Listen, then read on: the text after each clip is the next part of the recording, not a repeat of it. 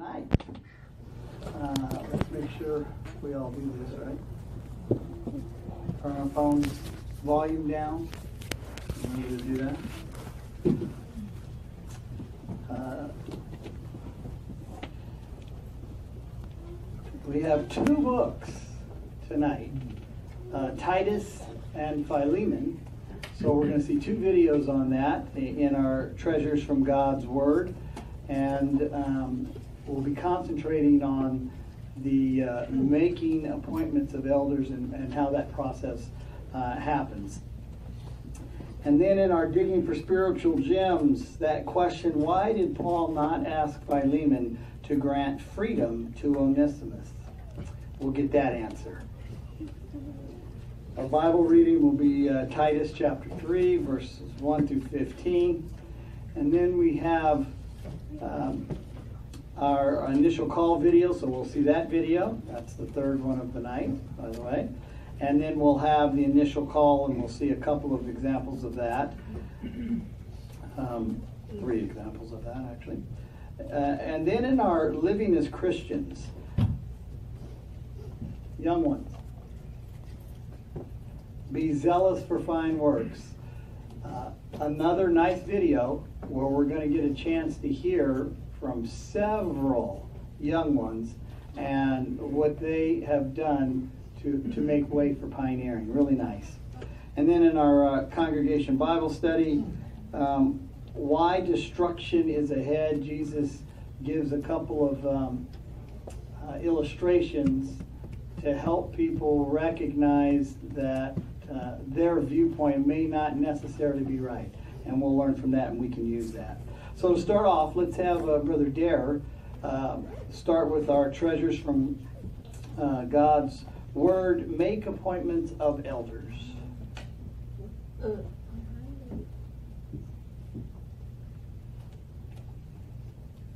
Before we get into that part about the elders, we're going to watch our videos of two books that we considered this week in our Bible reading. So let's play first our introduction to Titus, and then right after that we'll go into the introduction to Philemon.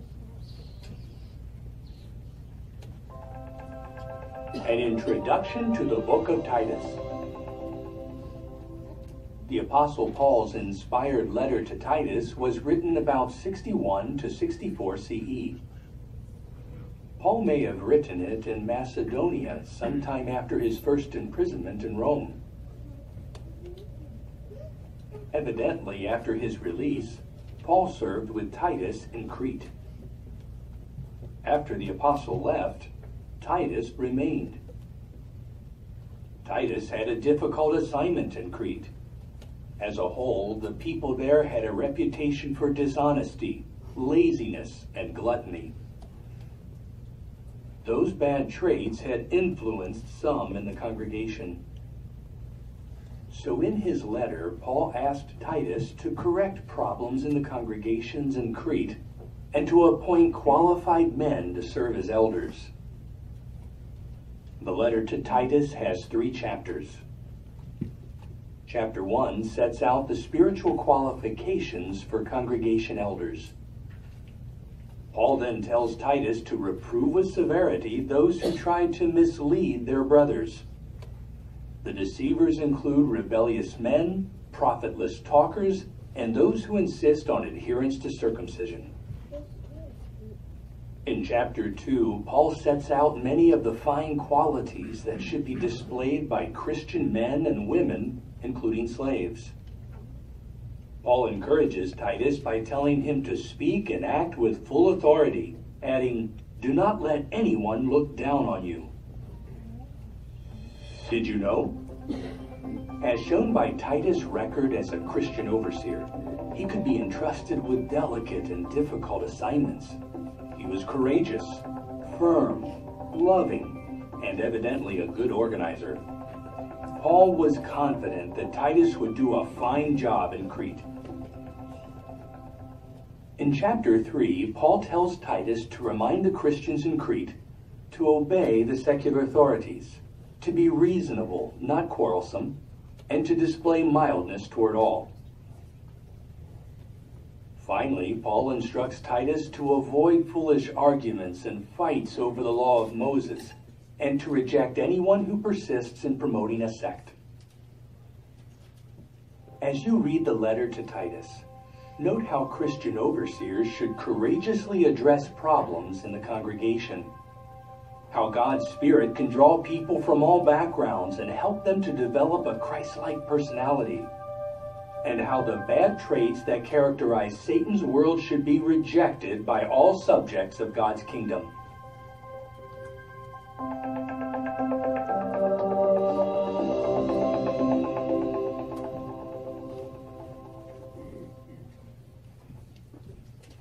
in our second video.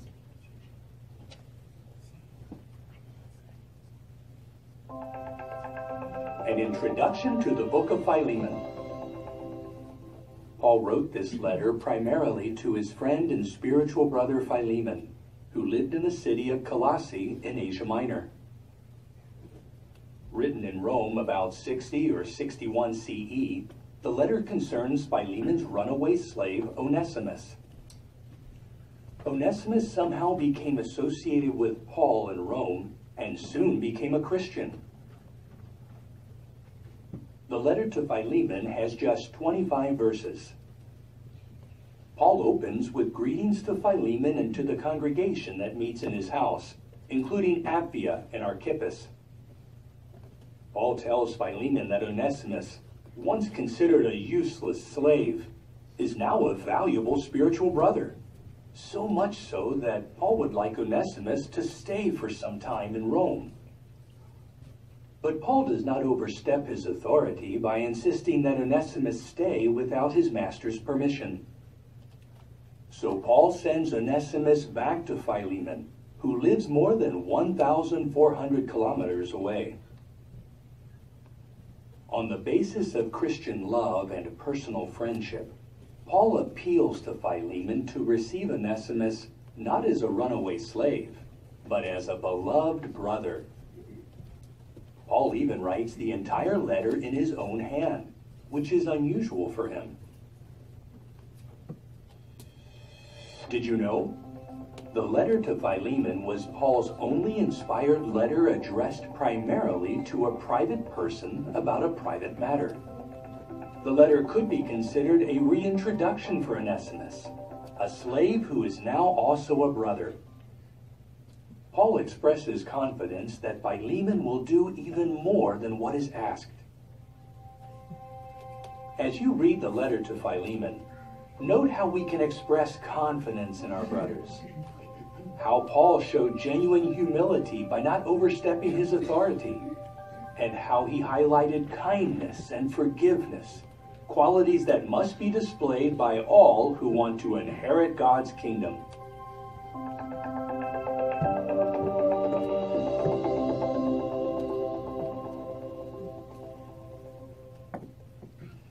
Okay, so now let's change the subject a bit here. We're going to talk about making appointments of elders or even ministerial servants. It wasn't that many years ago that when the circuit overseer came to the congregation, the circuit overseer and the elder body would get together and discuss those who would be recommended as a ministerial servant or an elder. If they all agreed on it, brother, basically paperwork would go back to the governing body. They'd get a stamp of approval if they agreed on it. It'd come back here, and then the announcement would be made. Things have changed. The reason is because the governing body has looked at the scriptures. For example, Paul and Barnabas in Acts the 14th chapter, when they, they were on their way back from their first missionary tour, the scripture says that they appointed elders for them in each congregation, offering prayer with fasting, and they entrusted them to Jehovah in whom they had become believers.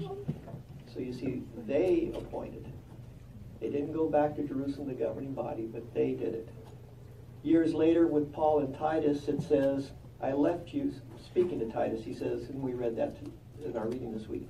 I left you in Crete so that you would correct the things that were defective and make appointments of elders in city after city, as I instructed you. Again, he would make the appointments. It would not go back to the governing body. So Timothy did the same thing. He was instructed to do the same thing. So, with this biblical precedent in mind, the governing body of Jehovah's Witnesses has adjusted the appointments the way it's done. And as of September 1st, 2014, appointments were made differently. During the visit of the circuit overseer, again, the circuit overseer and the brothers, the elders in that congregation would sit down and discuss any who would uh, be candidates to be uh, uh, an elder or a ministerial servant. They would discuss this. And if the circuit overseer and the elder body came to an agreement that this brother met the qualifications to a reasonable degree, then he, the circuit overseer, would appoint that brother as an elder or a ministerial servant. This arrangement is closer to the first century pattern, as we discussed here. So, what's this mean?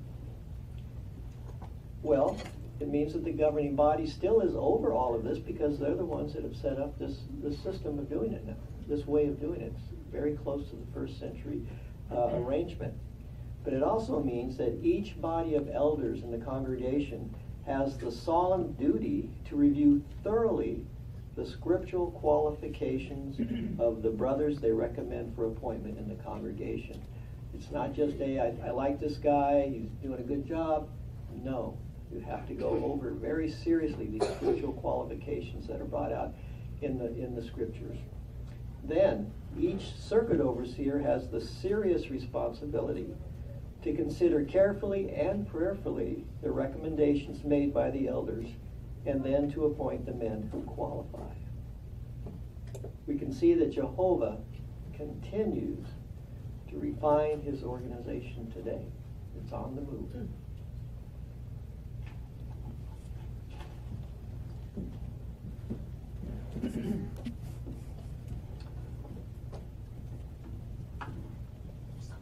Nice, Bible based, right? Exactly the way the process goes. Um, next, let's um, give our attention to Brother San Luis as he takes us through our digging for spiritual gems. Uh, remember that question why did Paul not ask Philemon to grant freedom to Onesimus? And uh, nice, short, 30 second comments so that uh, uh Brother uh, San Luis can stay on time.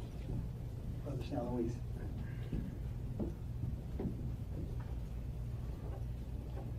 As we consider the information, can we have someone read for us Titus chapter 1, verse 2, please?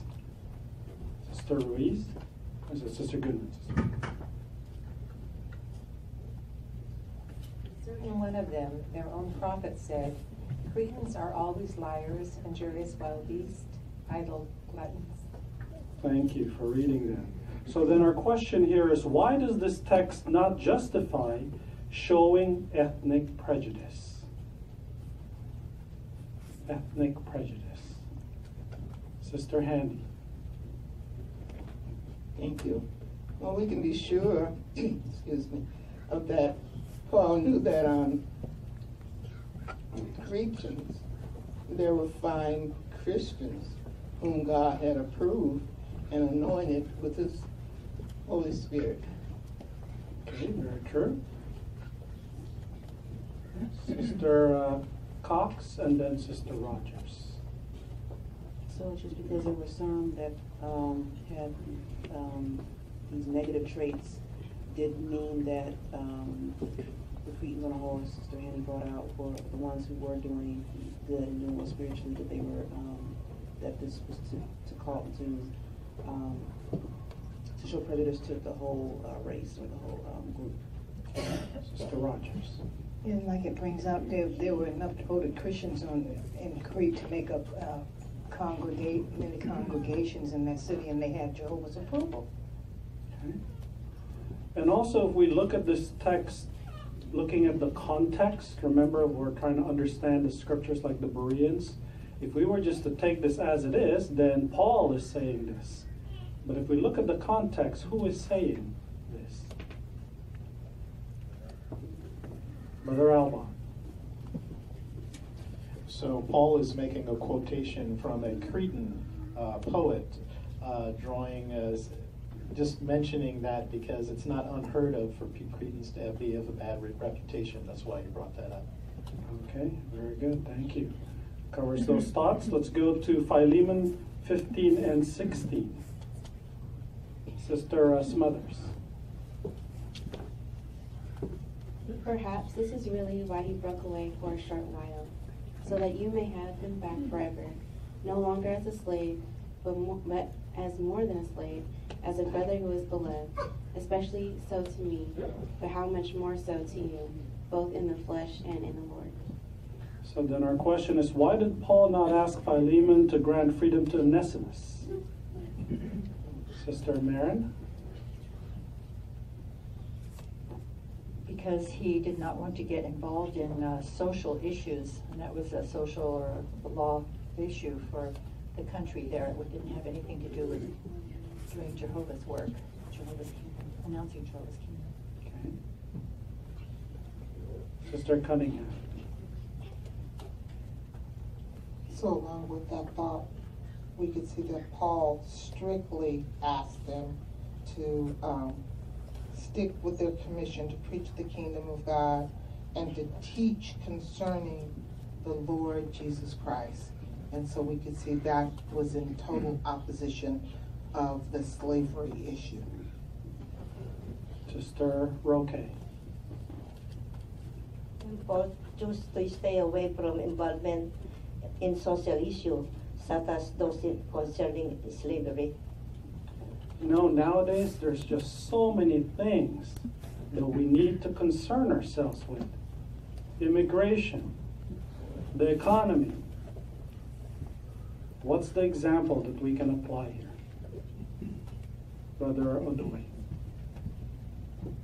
And so, with all those social issues, we follow the example of Jesus Christ when he was asked to, to mediate between a, a man and his brother over the uh, family inheritance. He refused. He wasn't going to get involved with those social things, and neither would the Apostle Paul. So, we also do not get involved. We're not there to preach social justice, we're there to preach the good news of God's kingdom. So we're not getting involved, but you know, that question about prejudice earlier, you know, I think they're right what they say about those people. What can we learn from the first portion about prejudice? Sister Huey. We just don't get involved in social issues. They may be right, they may be wrong, and we just will not uh, address it. Sister Autier. And Jehovah's looking for right-hearted ones from all the sorts of people in all the nations. So we should have the same view of people. We should be looking for their um, willingness and joy in learning about Jehovah. Very good. Thank you. So, what uh, has this week's Bible reading taught us about Jehovah?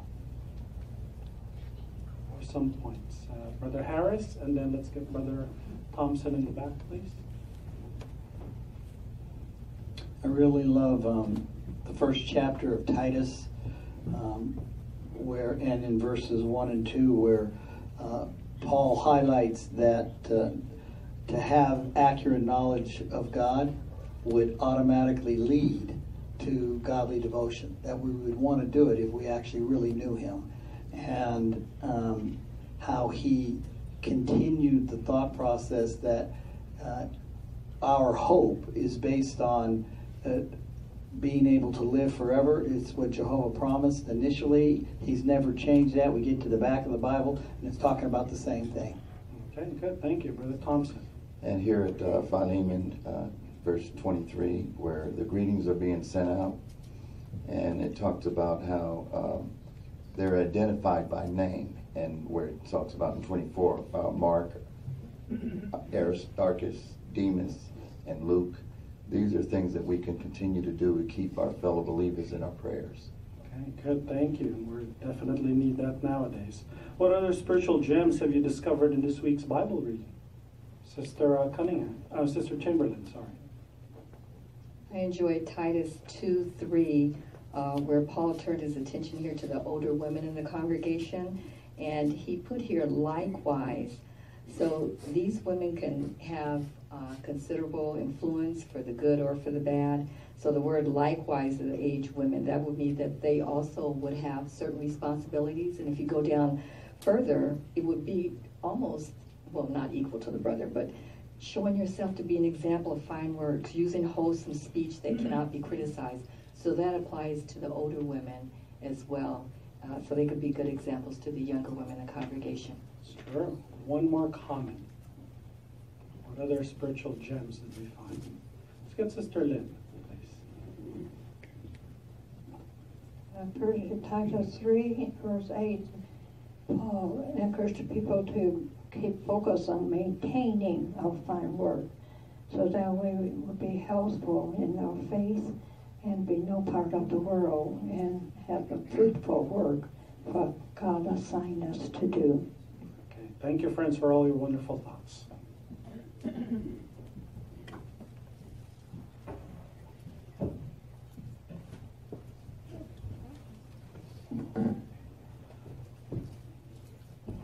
Nice comments. Um, I counted 15.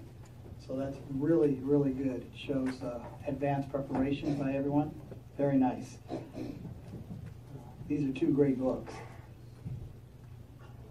Now, uh, let's give our attention to our Bible reading. We'll invite uh, Brother uh, Andrew Marin up. Um, Titus 3 1 through 15. If you can turn there, great.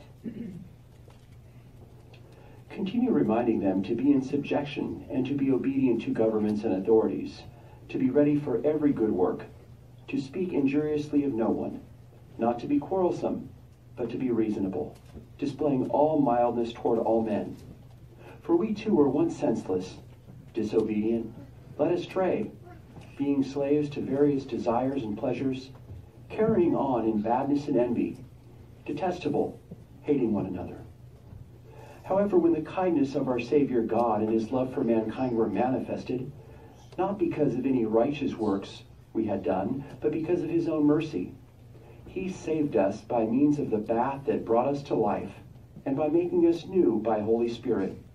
He poured this Spirit out richly on us through Jesus Christ our Savior, so that after being declared righteous through the undeserved kindness of that one, we might become heirs according to a hope of everlasting life. These words are trustworthy, and I want you to keep stressing these matters so that those who believe God may keep their minds focused on maintaining fine works. These things are fine and beneficial to men, but have nothing to do with foolish arguments and genealogies and disputes and fights over the law, for they are unprofitable and futile. As for a man who promotes a sect, reject him after a first and a second admonition knowing that such a man has deviated from the way and is sinning and is self condemned. When I send Artemas and Tychicus to you, do your utmost to come to me in Nicopolis, for that is where I have decided to spend the winter. Carefully supply Zenas, who, has, who is versed in the law, and Apollos, so that they may lack nothing for their trip. But let our people also learn to maintain fine works so as to help in case of urgent need, so that they may not be unproductive. All those with me send their greetings. Give my greetings to those who have affection for us in the faith. May the undeserved kindness be with you, all of you. Very nicely done, Brother Marin. Thank you so much. Um, you were working on study number five, which is uh, accurate reading. And well, the the summary says read exa- uh, read aloud exactly what is on the page, and that's exactly what you did. Uh, very nice. You have a very nice reading voice, and uh, you obviously prepared. Uh, you adhered to all the punctuation. That's that's important when we're reading. Commas, pause, periods, pause longer, right?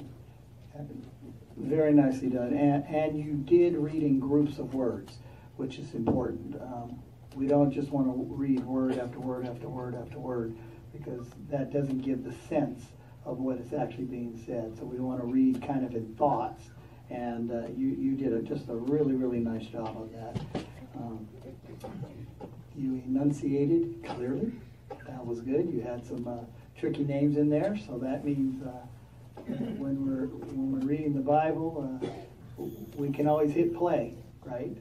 Hit play, and, and we can get the exact uh, pronunciation of any of the uh, words, specifically, you know, names. They can be hard. Uh, really enjoyed it. Nice job. Thank you so much.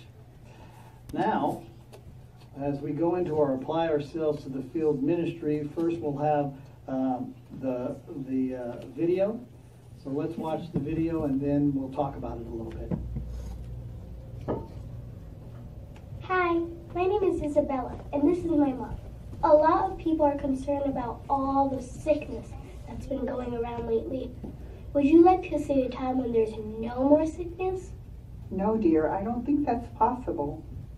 Well, that's understandable because sickness has been around for most of the time that humans have been alive on earth. But there's an interesting promise in the Bible that Isabella would like to share with you. Okay. Isaiah 33, verse 24 says, No resident will say, I am sick. The people dwelling in the land will be pardoned for their error. According to this, what will happen to sickness in the future? Well, according to this, it'll be gone. Yeah, won't that be wonderful? That would be nice. I've never heard that before. You know, in many places, one big cause of sickness is that people don't have enough food to eat. But the Bible promises an end to that problem too. Isabella and I would love to come back next week and show you that promise. Okay, I'd like that. Alrighty, so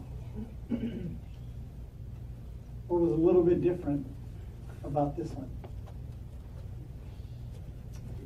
Uh, how about Trifina?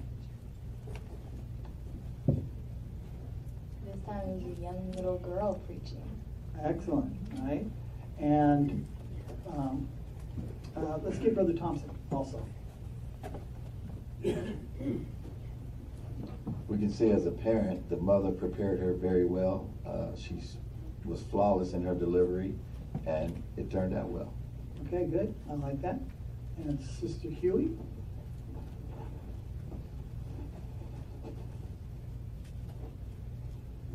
So the younger one gave the presentation and then the older one chimed in. So they really prepared well. Yeah, that was a, a nice job. And uh, how did the younger one stay involved? Uh, Sister uh, Simon. Well, she read the she read the scripture and then she asked her the question. Yeah, she she asked her the question right after she read the scripture. So we have some young ones, um, and it's not just up to the parents, right? We're we're we're all a family, right?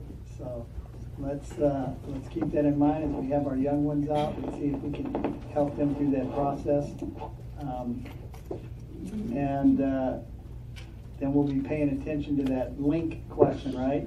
How will the problem of world hunger be solved? There's probably not a person that we talk to if we actually get to that point that won't say, okay, I, would like to know that, right? So the, these um, these presentations are well thought out. Uh, the, the teaching committee, uh, the governing body, they, they put a lot of time and effort into these short, one minute, one and a half minute conversations that we can have, but um, they pack a punch. So, uh, really good. Enjoyed that uh, quite a bit. Okay, now let's um, let's listen to the initial call. Uh, Sister Becker, you have our attention. Well, I'm sorry to hear about all the sickness in your family, uh, Mrs. Marin, but I, I hope everybody's on the mend now. Thank you for asking. Yes, I think we're on the mend now. Good, good. Let me ask you a question. Have you ever thought about what it would be like on earth if there was no sickness at all? Hmm. Um, I haven't really thought about it. I don't think it's possible. Well, I, I don't blame you for believing that. That's the way most people feel. And of course, sickness has been on the earth as long as there have been humans. So to us, it's, it's sort of a natural part of life. But I'd like to uh, share with you a very brief scripture in the Bible, in the book of Isaiah, as inspired by God, that talks about sickness and what the future of sickness will be. And I'd like to read that to you. As I said, it's very short. It's in the chapter, in, in the book of Isaiah, chapter 33, and verse 24. And you notice it says, And no resident will say, I am sick. Hmm. So according to this, what's going to happen to sickness? Well, apparently, according to that, there, there will not be anymore. Wouldn't that be wonderful? Hmm. It sure would be. We wouldn't have, have to be sitting here talking about the illness of your family or my family. Yeah, that's true. Oh, in um, many places of the earth, one reason for sickness is because of the conditions they live under, uh, whether it's this country or another country, um, but because of the food they eat and other conditions. That's true. But I've never heard that before. I'm just really, uh, that's really It's interesting. really intriguing, isn't it?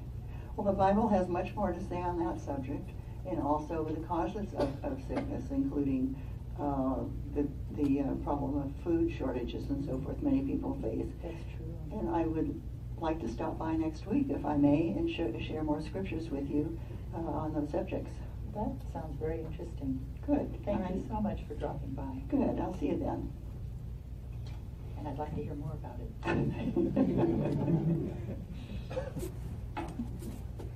Thank you very much, sisters. Um, Sister uh, Becker was uh, working on uh, study number three, which is use of questions. And uh, uh, by the way, you did a, a very nice job of using questions, Sister Becker. Um, in the how to do it, it, it makes a statement that we want to arouse and maintain interest. And we do that by asking questions, which you actually did before you got to the scripture. You, you put something in front of her so that she would be thinking about the answer that you were getting ready to read to her, and I like that. And in, under reason on the subject, if you see that paragraph, reason on the subject, uh, help your listeners to follow the logic of an argument by posing a series of questions that lead to a reasonable conclusion. Uh, another way to say that is that we want to develop the art of using leading questions. See, we can lead the conversation the way we want it to go just by asking the right question, getting them thinking in that mode. And, and you did a really nice job on that. That's something that we all want to practice. Uh, when we have a presentation, we have to think, now what can I say that will lead them to the correct answer? We know the Bible's going to give the correct answer, but we want them to be thinking about it so that when they read the scripture, they get the point. When you ask your question, it drills that point home. Uh, art of leading questions, very, very important part. Thank you very much. That was well done. Now we'll uh, give our attention to uh, Sisters Marin and Wright.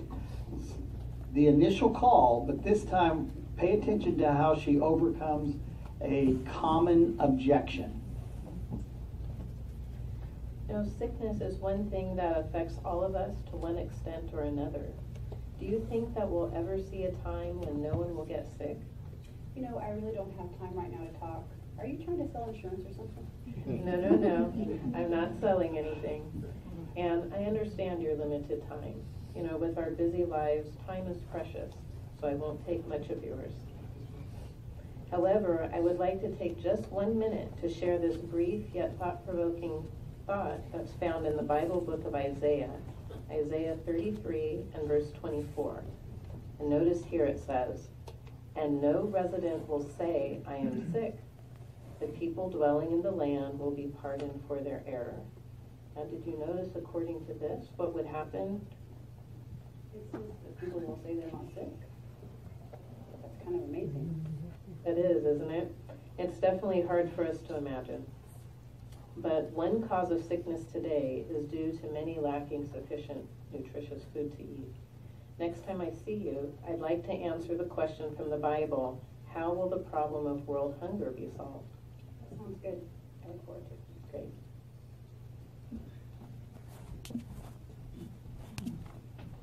Thank you very much.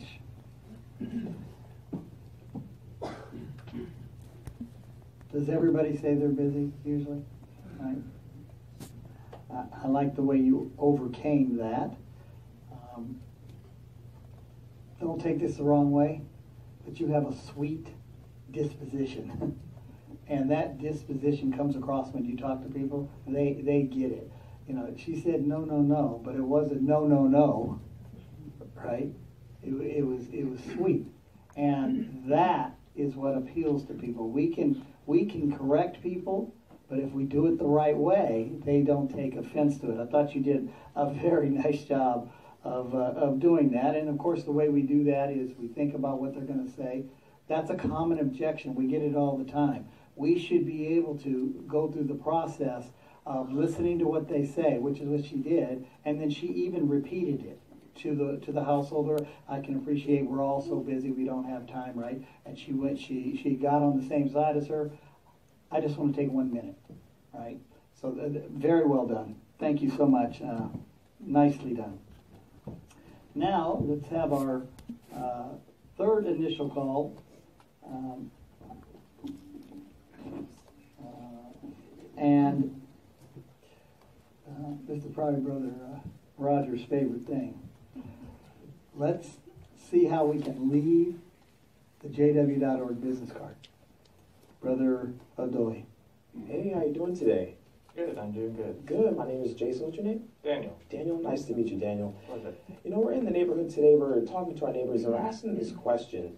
You know, so many people today in the world get sick or are affected by sickness, whether it's a common cold or the flu or whether it's more serious sicknesses. Do you ever think that there will be a time where no one will say that they're sick? Uh, I don't think so. That, that would be nice, but it doesn't sound possible. Yeah, you know, a lot of people feel the same way you do, and they resort to modern medicine for those answers. But the Bible gives a promise that I'd like to share with you here, and that's at Isaiah 33, verse 24. Can, and can you read that for me? Yeah. Says, And no resident will say, I am sick. People dwelling in the land will be pardoned for their error. Right, right.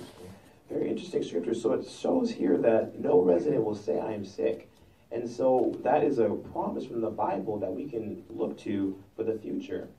But you know, so many people today are affected by sicknesses, and that's due to a lack of nutritious food and uh, hunger.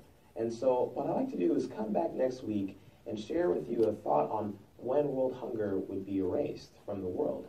And before I leave, I wanted to leave with you uh, this contact card here and if you see on the back there, it has that QR code there.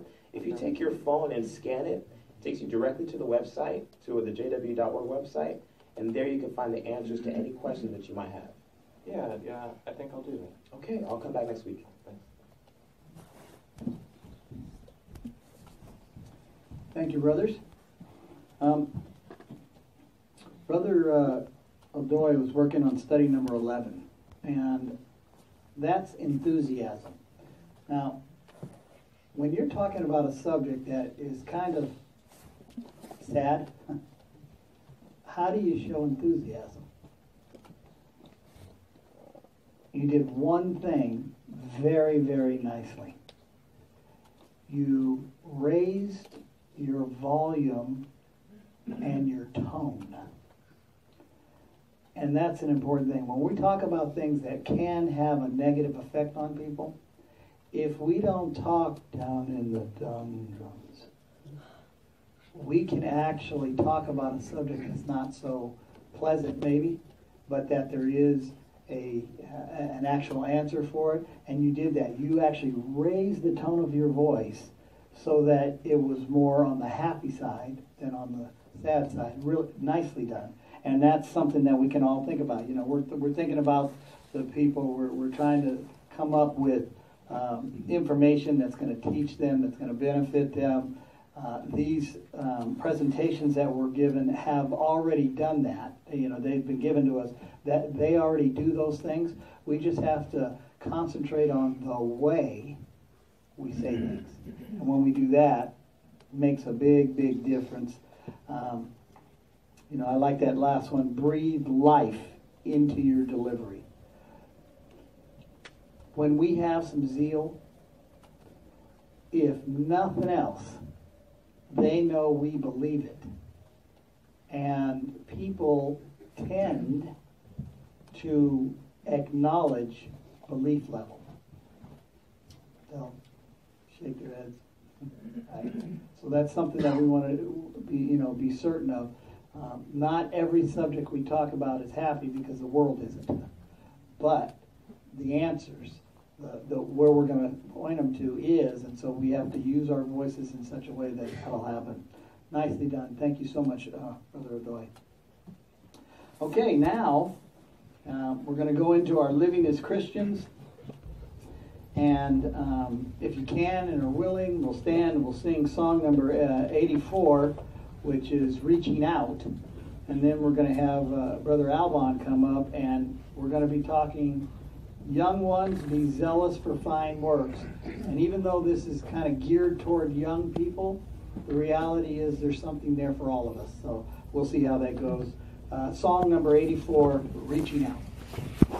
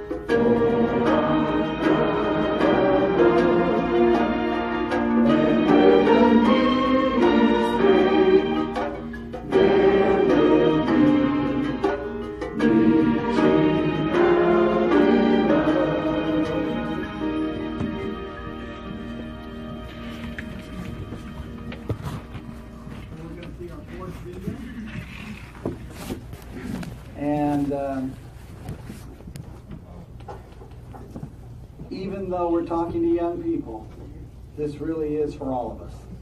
Because actually, all of us are young compared to forever, right? So let's uh, give close attention as Brother Alban develops this thing Young ones, be zealous for fine works.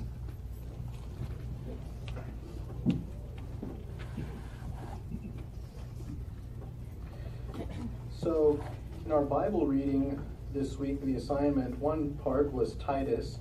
And in that letter, Paul encouraged Titus to be an example of fine works in every way. Now, uh, Titus was a mature man. You might not say he was young, so to speak. So, while we're talking about young persons, uh, that's relative. Do you feel young? Then uh, this talk is for you.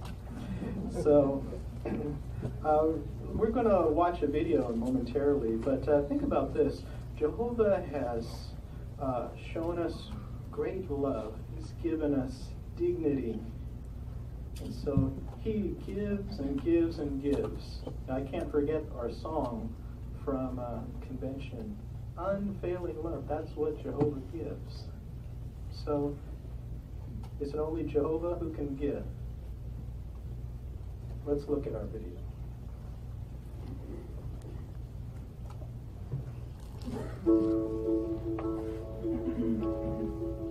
Before I started pioneering, I was really nervous that I wouldn't be able to get my time in every month. It was a bit hard when I started pioneering because uh, I didn't have a car. My boss, he didn't give me part-time work. I found it really hard to balance schoolwork and pioneering at the same time. My biggest struggle was fear of man, so that really hindered me because I wasn't very good at talking to people. Having a good routine was a struggle. My brother and I are the only ones in the truth. My family didn't understand why we wanted to go preaching. I didn't think that I'd make a good pioneer. I've had type 1 diabetes since I was five, so I was always worried about whether or not I could balance that health condition with pioneering. Challenges don't seem that big now, but back at that time they were a really big deal. But the coolest thing was how Jehovah helped me. Prayer to Jehovah helped me overcome my fears. My family were a massive help from Jehovah because my dad was the one who first encouraged me to pioneer. When I did start pioneering, he promised that I would have the full support of my family. When I spoke to um, brothers and sisters who spent their youth in the full-time service, that really helped me because it was really encouraging um, and it really motivated me to want to make my own memories and my own experiences in the full-time service. So there were practical things I could do. When I didn't have a car, I just walked or I caught the bus. I had to work out what my priorities were first, so I had to find out how many hours did I have to go witnessing every week. So then I just sat down and I looked at every day and planned out which days I could go witnessing, which days I had to go to school, and also allocate time so that I could do my homework and study. Having a schedule was really good because I could see it all out in front of me and I could see that the hour requirement was actually attainable, so that made it a lot less daunting. I first set short-term goals of pioneering in a special months of activity. Then I was able to begin continuous auxiliary and then eventually I started regular pioneering. One of the best things I did to prepare myself for pioneering was to auxiliary pioneer beforehand. It really set me up to be able to overcome any challenges that I faced while I was pioneering. I thought about Malachi 3.10. I knew I trusted in Jehovah, but this was my chance to test him out. I prayed, put my trust in Jehovah, and put my application in. After my form was in for pioneering, our brother, at the time, my brother called me and offered me work. I had unemployment for three months, which wasn't a good time. But during that time, I had Jehovah as my main focus, and so he supported me and he didn't let me down. Asking brothers and sisters to come and work with me, maybe on days that I knew that I wouldn't get as much support, really helped. Um, that helped me to organise my hours a little bit more, and also I'd get to know my brothers and sisters more as well. One of the greatest joys of pioneering has been to pioneer with Mum. And we had the privilege of going to the pioneer school together, which was really special. Psalm 16 verse 8 reminds me that Jehovah is right beside me. When I'm preaching, it's like Jehovah is holding my hand. So with full-time service, I love making Jehovah happy. With everything that he's given me, I'm finally able to give something back. Uh, looking back, pioneering it was the best decision I've ever made. It's opened up so many different avenues of service to Jehovah, and it helped me also to have that real desire to want to stay in full-time service. Helping someone on the road to everlasting life is the best feeling ever, and it's, it's really irreplaceable. The only thing I can say, as a young person, start pioneering.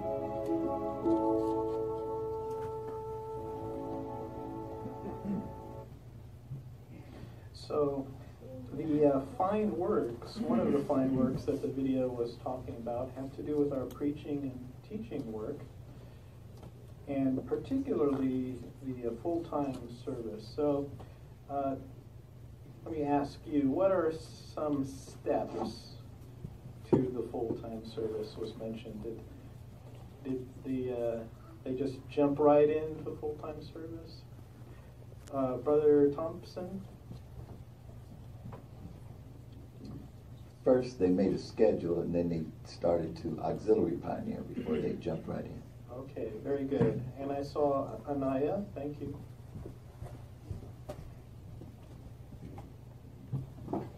auxiliary during the special months.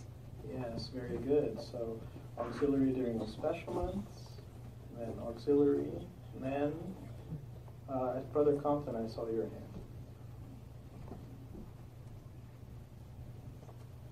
Well, young ones had a mind, not in their heart to pioneer, but they didn't jump in it. Uh, they talked to her once, like uh, the young sister, she talked to her father, she got encouragement. The one uh, sister, she talked to others. And so uh, to, to get the feel of it, to get uh, more confidence along with going to prayer with Jehovah. That's right, very good. So it wasn't a leap or just jumping in, but actually, you know, was a measured and uh, considered choice in life, and it's a choice Jehovah will bless you for.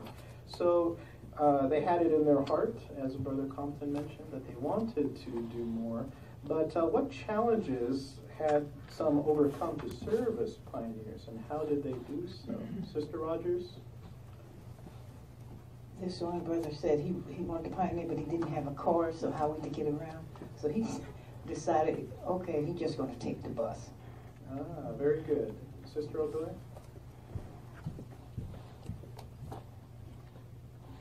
And one of them even had a health issue. She said she had had um, type 1 diabetes since she was five years old. So that was a health concern. So, as a young person, how would she be able to pioneer balancing the health condition? So, she mentioned how she relied on Jehovah and prayed to Jehovah for help and uh, recognized that if she did organize her life well and jumped in, Jehovah would bless her. And she seemed to be happy and enjoying pioneering still.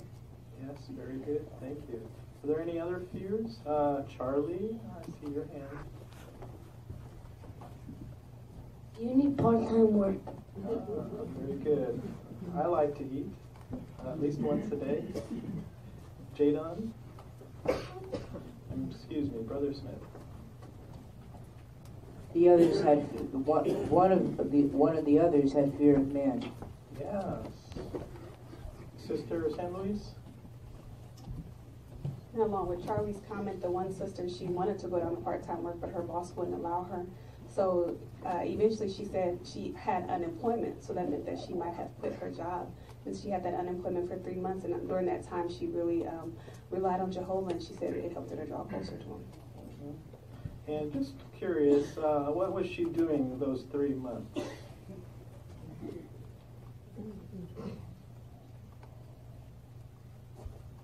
Anaya? She was studying. Okay. Anything else?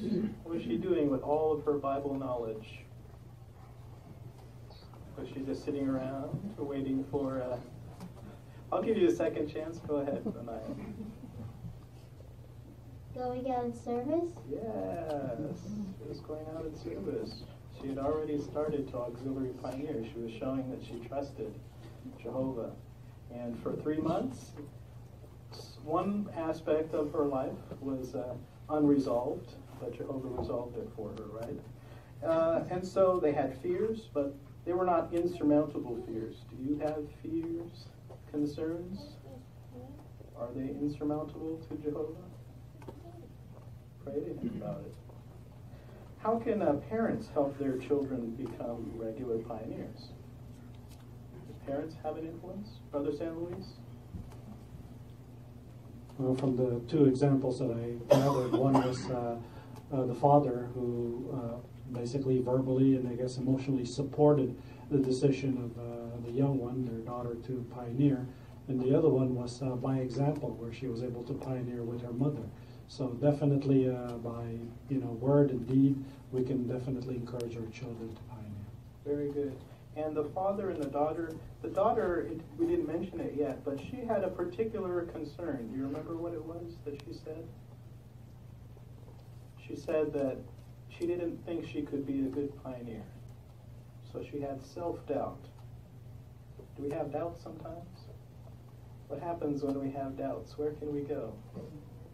We have our parents you could go to, the friends, and uh, anybody else you can go to? Brother uh, Tilon? Pray to Jehovah. Yes, pray to Jehovah. Uh, let's continue with our next question. Why is having a schedule for preaching important? Sister D'Amato? Well, we can appreciate that, for example, if a house doesn't have a structure, that house isn't going to stand. So it would be the same thing with uh, trying to pioneer. If we don't have any structure in our uh, schedule, it kind of can go by the wayside very easily and fall apart. Very good. Having a structure. I like that phrase. Sister Altier.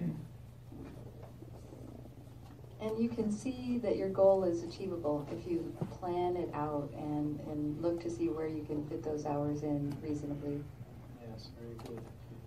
Uh, Sister uh, Chamberlain? And if you don't plan accordingly, it can throw your whole routine off. So you need to do it as a routine, just like you get up, you go to work, or you have chores. And so you need to, uh, we want to put that first anyway, so that would be the best routine that you can um, organize and plan. Yeah, very good. Structure, routine, have a plan. We should imitate Jehovah. He's a God of order, not disorder, right? So, are you able to order your time so that you could pioneer? Think about it. What about the members of the congregation? How can members of the congregation encourage and help a pioneer? There's something very practical. Sister Brown? If the pioneers um, having a hard time finding people to go with her, then she can go, you know, to different ones in the congregation and ask them to um, work with her. Yes. Is that a chore? Oh, let's get Sister O'Doy first. And it's also nice when members in the congregation approach the pioneers to ask when their schedules are and offer to work with them as well. Because sometimes a pioneer might think, well, I don't necessarily want to bother people, so they may come out on the days that they do and work with just those that are there. But if we also reach out as a congregation to them, that's also nice and helpful. Ah, very good. Nice, helpful, reach out. Brother O'Doy? And then, as we saw in the case of the young, one of the young brothers, um, he needed a job. And, but after he became a regular pioneer, one of the brothers was able to offer him employment. So uh, that's a practical thing to do. Pioneers uh, need to have some kind of uh, uh, financial assistance. And so whatever we can do to assist them financially, maybe help them find a, a good job somewhere, that, that would be very helpful to them so that they'll be able to take care of their own financial needs and continue the pioneer ministry. Very good. And let's qualify that. A good job. Tonight, uh, let's make sure we all do this right. Turn our phone's volume down. We need to do that. Uh, we have two books tonight uh, Titus and Philemon. So we're going to see two videos on that in our Treasures from God's Word. And um, we'll be concentrating on the uh, making appointments of elders and, and how that process uh, happens. And then in our digging for spiritual gems, that question, why did Paul not ask Philemon to grant freedom to Onesimus? We'll get that answer. Our Bible reading will be uh, Titus chapter 3, verses 1 through 15. And then we have um, our initial call video, so we'll see that video. That's the third one of the night, by the way.